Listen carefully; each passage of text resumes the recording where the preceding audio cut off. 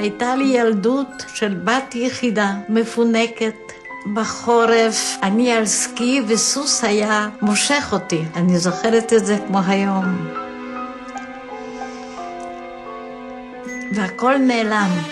קראו לזה אקציה גדולה. הכניסו אותנו כמו גפרורים בקופסה, ורכבת זזה. אמא לקחה אותי, כל הזמן הייתי איתה מחובקת, ככה, והיא אמרה לי, את היית בת יחידה שלי, זכותי, כמו שילדתי אותי, ככה זכותי להרוג אותי. גרמני לא ישים יד עליי. ואני התחלתי, אני לא רוצה למות, אני לא יכולה בלעדך, אני לא יכולה. שום דבר לא עזר. היא חיבקה אותי, התנשקנו ולקחו אותי. הרימו אותי, כי זה היה חלון למעלה, ולאט לאט, עם הרגליים קודם, הורידו אותי ודחפו אותי והייתי בחוץ. ככה נפרדתי מאימא שלי. כנראה הייתי חתומה לחיים, לא למוות.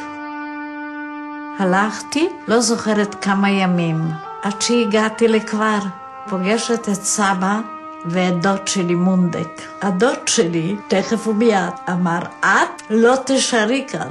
ואני אמרתי, אני רק נפרדתי מאימא שלי. אני לא יכולה עוד פעם להיפרד מכם. את צריכה לחיות בשקר. את לא לוצ'ה, את הלנה. את הלנה לחוביץ', אבל תזכרי טוב, אסור לך לשכוח על פלסטינה. זה המטרה שאני ידעתי פלסטינה, מי ידע פלסטינה.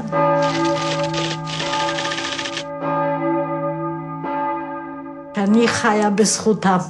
הם הקריבו את עצמם, כאילו הייתי מתגלה, היו הורגים אותם יחד עם הילדים שלהם.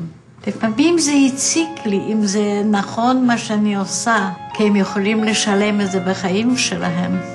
אבל גם אני רציתי לחיות.